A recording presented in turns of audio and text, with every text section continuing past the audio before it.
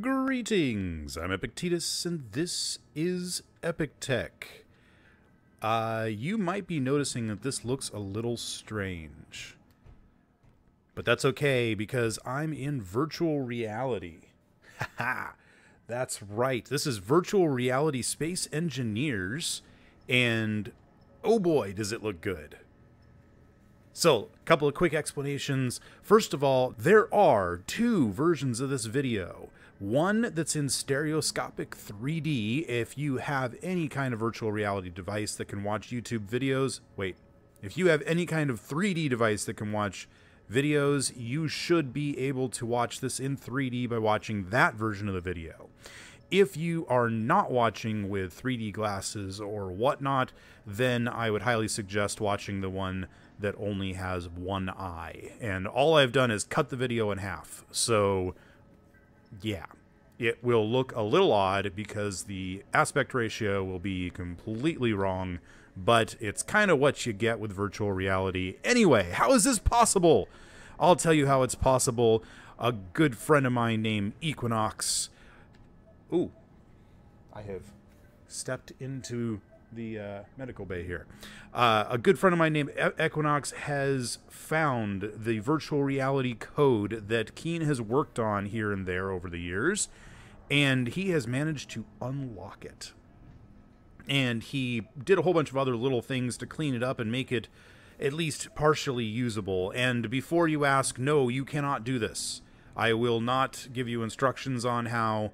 I will not allow you to talk to Equinox and ask him how to do it. Um, okay, I can't really stop you from doing that, but I highly recommend you don't bug Equinox about it because he will tell you the same thing I will. It's a pain in the rear. It is hard to get working, it is extremely buggy, and it is completely unplayable. But you can actually experience it through this video and someday Keen is going to make this actually a thing. And when they do, oh boy, is it going to be awesome. I am excited to play with this and try it out.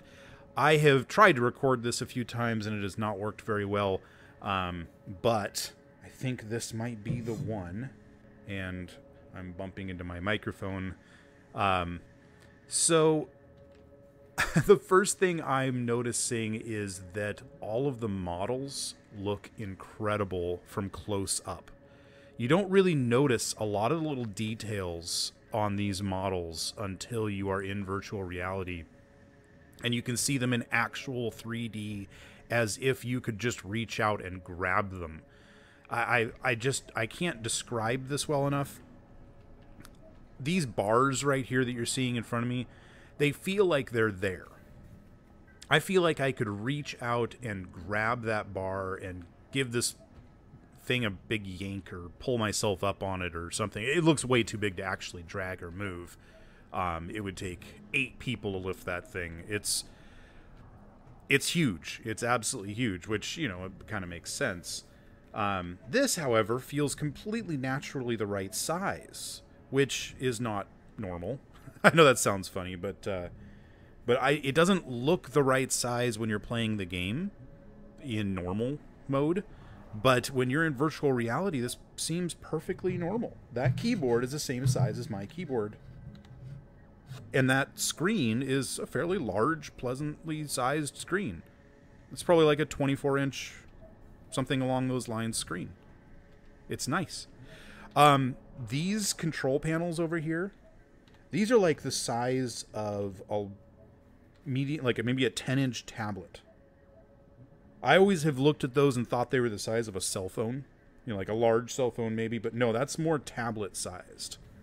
That's the kind of thing you can see in virtual reality that you can't normally tell. I'm going to kind of walk around and look at some other stuff.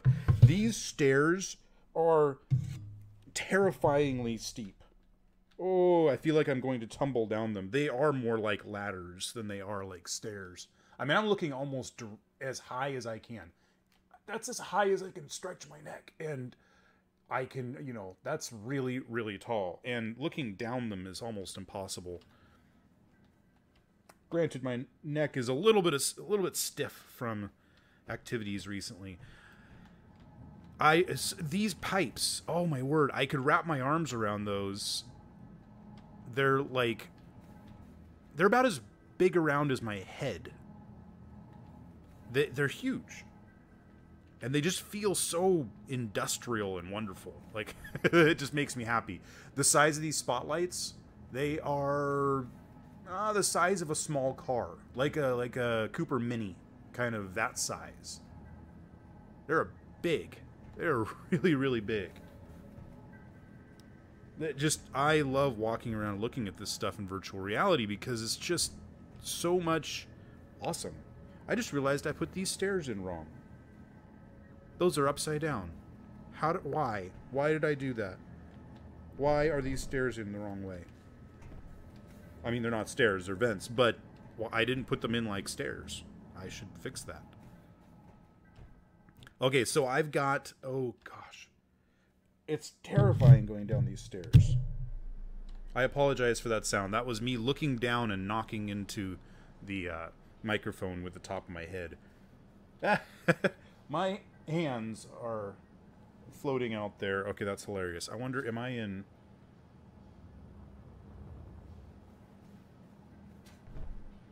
There we go.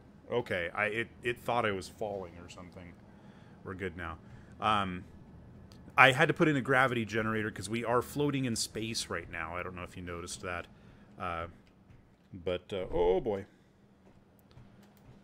Wow, that cargo container could hold a lot. No wonder it holds a lot. I mean, that is the largest cargo container in the game. And yeah, that that's a that's big. I, I don't want this entire video to be me walking around talking about how big things are, even though that is going to be a lot of what happens. Uh, just because that's kind of a thing with virtual reality. I don't know if you've heard about Minecraft and virtual reality. If you've tried it out, the everything's too big. The sheep are the size of horses, and the and the chickens are the size of large dogs, and all that kind of thing. And honestly, Space Engineers seems to have done a better job of scaling in that way. I mean, it is all about huge industrial things, but these all feel like they're about the right size for what they should be. I mean, if I were to reach out and touch that button, that would be a comfortable size. I mean, it's about half the size of my hand, which, you know, is about right. Okay, let's go take a look. This is actually going to be open space down here. Yep. Um, I wanted to go look at the MBT, the uh, ship from my. Oh, okay, okay. You know, it's great. Um, I have uh, ooh. The, one of the issues with this implementation of space and or of VR is that you you can't really use the mouse to move around, or else it changes your viewpoint, and then you can't. You're not because you always. Uh, I don't know how to explain it, but it's a little bit difficult to. Oh, I got I got distracted by how cool this airlock is. I have to use the arrow keys to rotate, or else um, it'll all get misaligned, and then I won't be walking forward. See, that looks so much more natural now. That's like, okay, I'm in the airlock, I need to do some work. It's right there. That just makes sense. And that chair is almost exactly the size of my chair.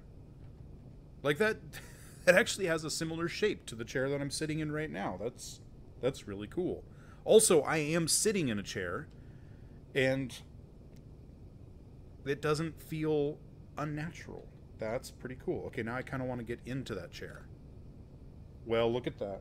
Oh, that's cool. Okay, let's let's let's fly a little bit. Can I move? I cannot read those. Okay, I am moving. That's good. Oh, that's very cool. Okay, I need to fly a smaller ship. I definitely need to fly a smaller ship. I want to I want to be able to fly around. Okay. Oh, see that? Yeah, I have to get pretty close to these screens to read them, but that has more to do with the decreased resolution in um, in virtual reality. It's it's just kind of a side effect of virtual reality, unfortunately. That vent that vent should be able to well okay actually that vent should be able to suck the air out of a hangar in about the amount of time it can Fair enough. I'm not going to complain. I'm I'm becoming more and more impressed with space engineers as I do this because everything just oh yeah here's a here's a programmable block and yet again now that's much bigger than a 24 inch screen that's more like a 32 inch screen but the keyboard's still about the right size that's that's good if I if I had a programmable block I would want that okay and that that is upside down it's funny how many of the little details you notice in virtual reality that you wouldn't necessarily in other situations. Oh, that's right. I forgot I had. Uh, uh, this is a copy of the space of the. This is a copy of the MBT from the very beginning of season two of my Let's Play. So it's a little bit different. If I'm not mistaken, the um, the Phoenix is up here. And yes, it is. So we can fly the Phoenix around. That'd be awesome actually. Let's see. I also there is no HUD, so I can't see. I can see the yellow outlines if I get there. Oh, there we go. Okay, is that gonna? Ah, there we go. Okay, so now I need to very carefully align again. Ooh, I'm gonna fly the virtual reality I think that's a song. If it isn't, it should be. Oh, so cool. Oh, wow. Okay, this is exciting. All right, I just need to find the P on my keyboard here. Oh, actually, oh, I can't control anything. Hang on, I have to actually take off my headset in order to, to launch this thing. Um, eight. No. I need thrusters. I also cannot actually see. Oh, there we go. Okay, back into VR. Okay, here we go. So, how do I... Actually, I should be able to use the mouse now. Oh, yes, I can. Awesome. Oh, yes. Oh, this is so cool. I know the Phoenix has a lot of forward thrust and not a whole lot of side thrust.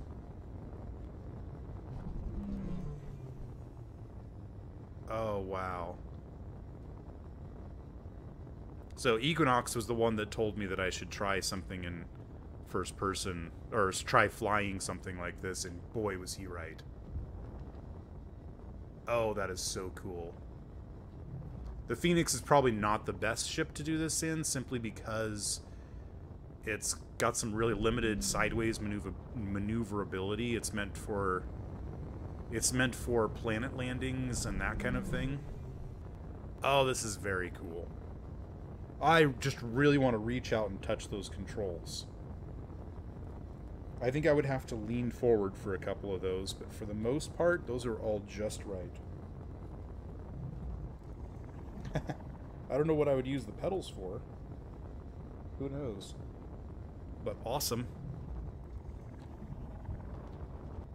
I cannot stop with this thing. I wonder if I don't have some of my thrusters on. And there's not really any way for me to tell. I'll bet you I only have my hydrogens on. That would explain a lot. That would explain all the sliding. It doesn't matter. This was just a little test of virtual reality to see what it's like. Obviously, there's some lighting issues in this version. You also might notice this is a slightly older version of the game. That's because uh, Keen only releases open source versions uh, every once in a while, and Equinox had to work with one of those but I think he did a fabulous job. And this is incredible. If there's anything specific you want me to take a closer look at sometime, go ahead and put it in the comments. Um, I would be happy to do that. I just wanted kind of a quick little teaser uh, just to see what we might one day get in virtual reality from space engineers. And oh, this, if I could just be in virtual reality for flying ships, I would be absolutely fine with that. Like, not for walking around the base, but just for flying ships, not a problem. Just, I don't know if you've ever tried to dock in two dimensions, trying to figure out how close you are to something, but I can tell exactly how close I am to everything. There's just not even a question. You know, my controllability isn't great on this ship, but like I know when I'm going to hit something.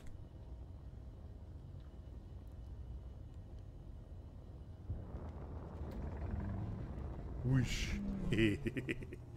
okay, enough of that.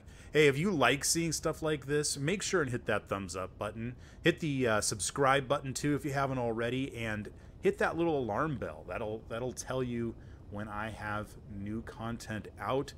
And if you want to see specifically something in VR, um, just to see what something looks like really close up, you make sure and let me know. And as always, I'll see you next time on EpikTek. Ooh, I wonder how fast I can talk. Oh, oh, oh. Cannot. Okay. I've got to find the other thrusters.